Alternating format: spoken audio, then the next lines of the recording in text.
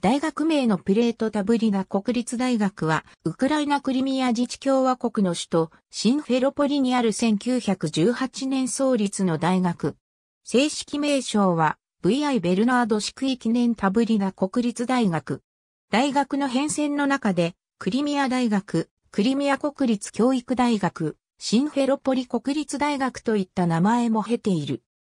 16学部を要する総合大学で、クリミアにおける高等教育の中心的役割を担ってきたが、2014年から後のクリミアのロシア編入の中で、ロシア連邦によって他の複数の大学、研究所とともにクリミア連邦大学へ組み込まれた。付属植物園など、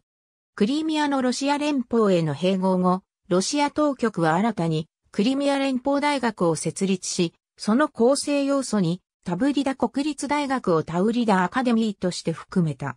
アカデミーのディレクターはボロニン教授である。クリミアのロシア連邦への併合を認めていないウクライナ当局はキエフにタウリダ国立大学の組織を命じた。このウクライナ大学の学長はカザリン教授である。ありがとうございます。